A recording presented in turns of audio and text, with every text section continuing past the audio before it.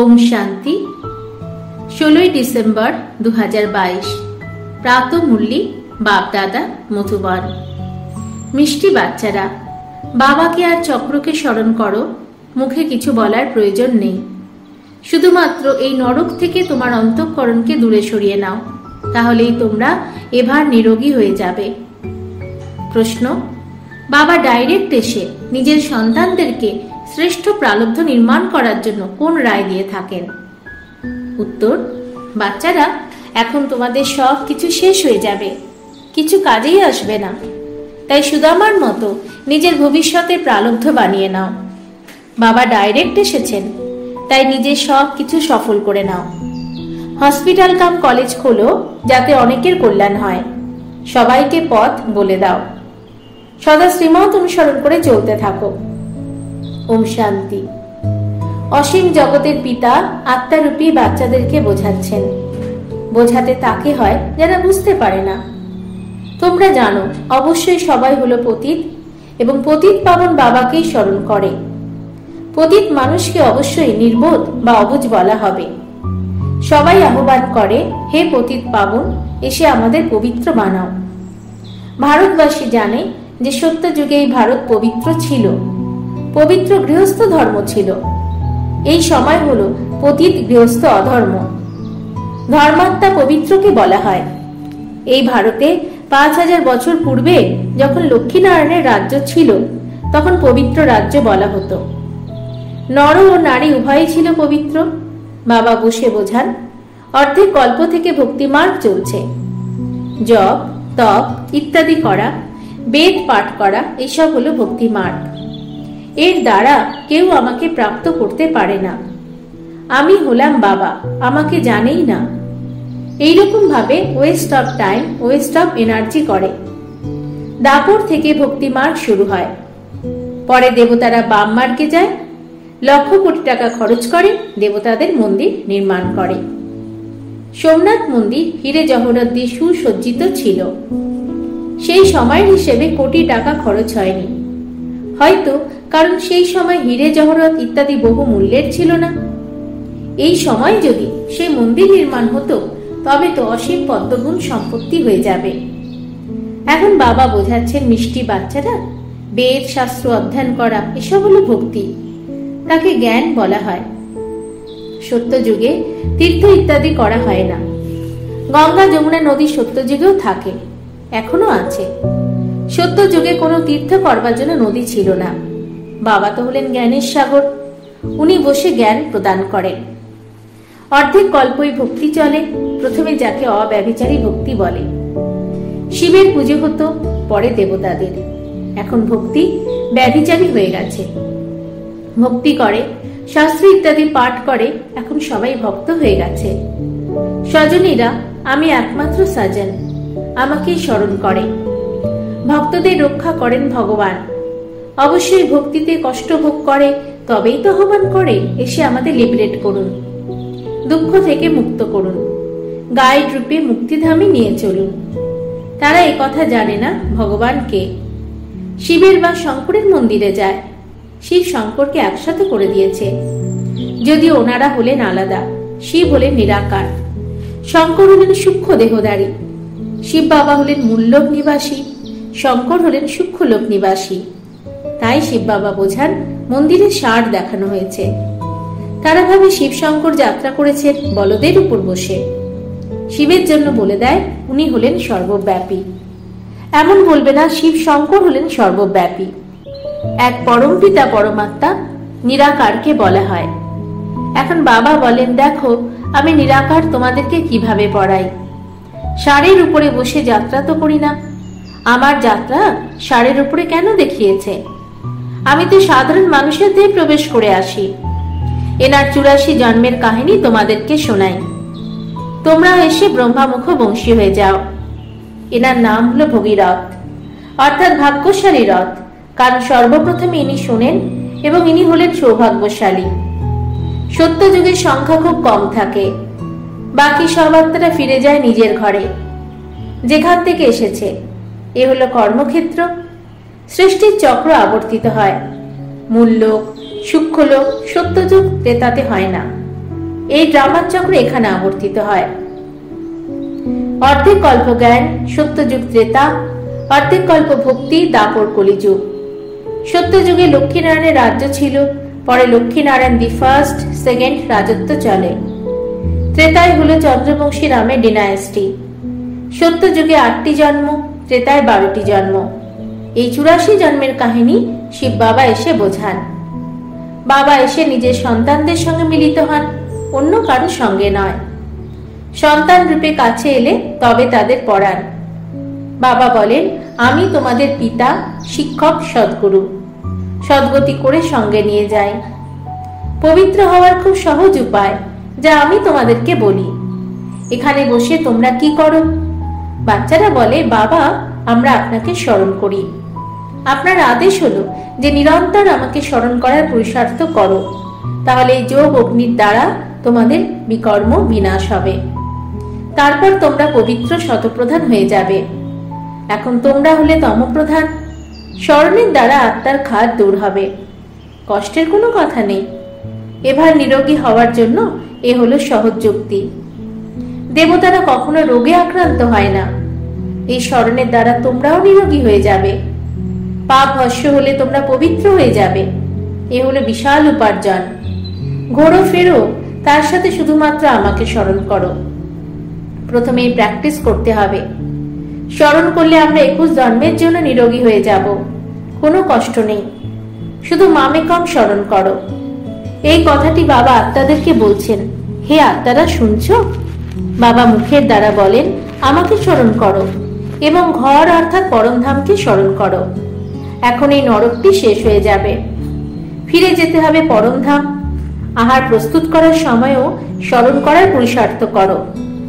যদিও তোমরা হলে কর্মযোগী, তবুও কমপক্ষে আট ঘণ্টা স্মরণ অবশ্যই করো। পাঁচ মিনিট, দশ মিনিট, আধ ঘণ্টা এইভাবে চারটিকে বাড়াতে থাকো। চেক করতে থাকো, আমরা কতক্ষণ বাবাকে স্মরণ করলাম। যে পিতার কাছে বৈকুণ্ঠের বাদশাহী প্রাপ্ত হয়, একুশ জন্মের জন্য সদা সুস্থ, সবল, নিরোগী হই। কতখানি সহজ এই যুক্তি? চক্রের নলেজ বোঝানো হয়েছে যে শিক্ষা বা টিকি হলো ব্রাহ্মণ, দেবতা, ক্ষত্রিয়, বৈশ্য সূত্র এই চক্রটি স্মরণ করতে হবে। বীজ এবং বৃক্ষকে স্মরণ করো। এখন তোমরা জানো, এক ধর্মের স্থাপনা হলে অন্য ধর্মগুলির বিনাশ হয়ে যাবে। সত্য যুগে একটি ধর্ম থাকে, তোমাদের সব পরিশ্রম হলো একমাত্র এতে। বাবা বলেন, আমি বীজ, আমাকে স্মরণ করো এবং বৃক্ষকেও স্মরণ করো।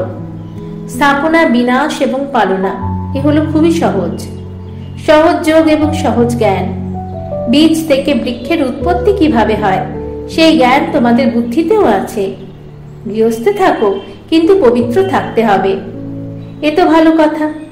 বাবা বলেন, তেষট্টি জন্ম তোমরা নরকে হাবুডুবু খেয়েছ, পাপ কর্ম করেছ এখন পুরোপুরি পাপ আত্মায় পরিণত হয়েছ। রাবণের মতানুসারে চলেছ। গান্ধীও রামরাজ্য চাইতেন। এর অর্থ, রাবণ রাজ্যে বসবাস ছিল। মানুষের বুদ্ধি মলিন হয়ে গেছে। কিছুই বুঝতে পারে না। স্বর্গ কবে ছিল কিছুই জানে না। লক্ষ্মী নারায়ণের পাঁচ হাজার বছর হয়েছে, সে কথাও কারও জানা নেই। সত্য যুগের আয়ু লক্ষ বছর বলে দিয়েছে। অর্ধ কল্প হলো জ্ঞান, অর্ধেক কল্প হলো ভক্তি। তারপর যখন পুরনো দুনিয়া হয়, তখন আসে বৈরাগ্য। এই নরকের প্রতি আসক্তি দূর করতে হবে। তোমরা এখানে বসে অনেক উপার্জন করো। বাবা বলেন, তোমরা চক্রবর্তী রাজা হও। এ হলো তোমাদের অন্তিম চুরাশিতম জন্ম। বিনাশ সামনে রয়েছে। মৃত্যু লোকের বিনাশ অমর লোকের স্থাপনা হচ্ছে। অমরনাথ বাবার কাছে আমরা সত্যনারায়ণ হওয়ার সত্য কাহিনী শুনছি।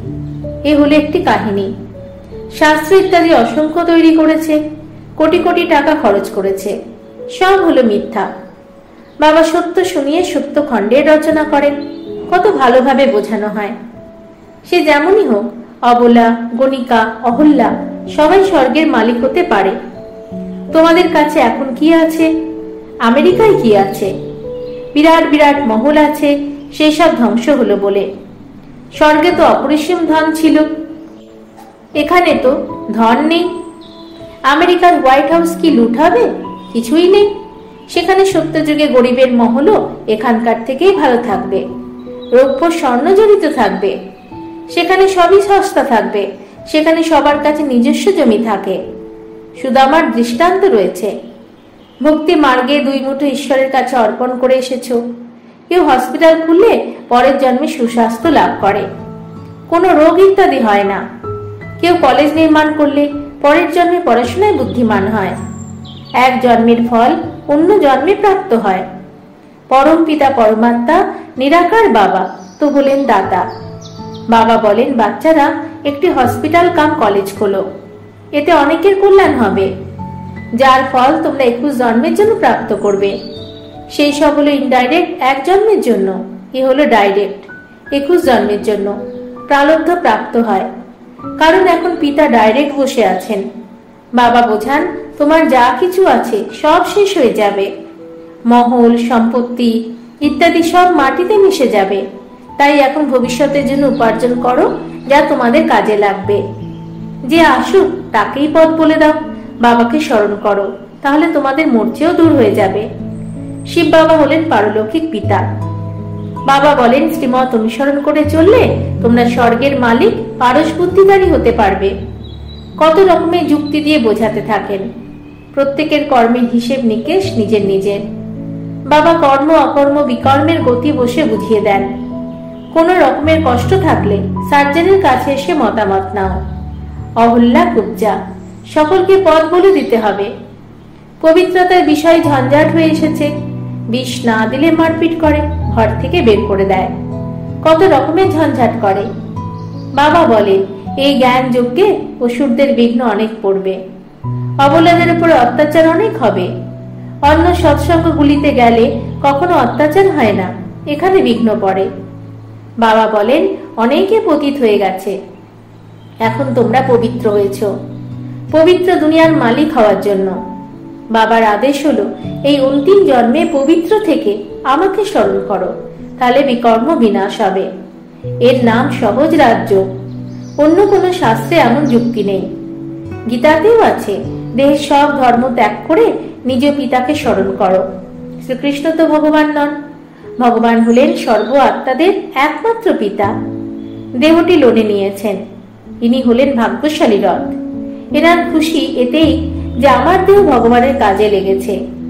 এই দেহে পিতা পরমাত্মা এসে সকলের কল্যাণ করেন। এছাড়া সার ইত্যাদি কিছু নয়। এই সব কথা নতুনরা কি করে বুঝবে? আচ্ছা। মিষ্টি মিষ্টি, হারানিধি বাচ্চাদের প্রতি মাতা পিতা বাপদাদা স্মরণের স্নেহ সুমন আর সুপ্রভাত। আত্মাদের পিতা, ওনার আত্মারূপী বাচ্চাদেরকে জানাচ্ছেন নমস্কার। আমাদেরও বাপদাদাকে ধন্যবাদ, নমস্কার। ধারণার জন্য মুখ্য সার, এক এই অন্তিম জন্মে সম্পূর্ণ পবিত্র হয়ে বাবার স্মরণেই থাকতে হবে। পতীত দুনিয়ার থেকে মনের সংযোগ দূর করতে হবে। দুই, স্বদর্শন চক্রধারী হতে হবে। হসপিটাল কাম কলেজ খুলে অনেকের কল্যাণ করতে হবে। প্রতিটি পদক্ষেপে সুপ্রিম সার্জনের শ্রীমত নিতে হবে। বরদান, দিব্য বুদ্ধির দ্বারা ত্রিকালদর্শী স্থিতির অনুভবকারী সফলতা মূর্তি ভব। ব্রাহ্মণ জন্মের বিশেষ উপহার হলো দিব্য বুদ্ধি এই দিব্য বুদ্ধির দ্বারা বাবাকে, নিজেকে এবং তিনটি কালকে স্পষ্টভাবে জানতে পারো। দিব্য বুদ্ধির সাহায্যে স্মরণের দ্বারা সর্বশক্তিগুলিকে ধারণ করতে পারো। দিব্য বুদ্ধি ত্রিকালদর্শী স্থিতির অনুভব করায়। সেই বুদ্ধির সামনে তিনটি কাল স্পষ্ট থাকে। বলা হয়, যা ভাববে, যা বলবে, আগের আর পরেরটা চিন্তা করে করবে। পরিণামের কথা বুদ্ধিতে রেখে কর্ম করলে সফলতা অবশ্যই প্রাপ্ত হয়। স্লোগান। যথার্থ নির্ণয় দিতে হলে আত্মিক নেশার দ্বারা চিন্তামুক্ত স্থিতিতে স্থিত থাকো। ওম শান্তি।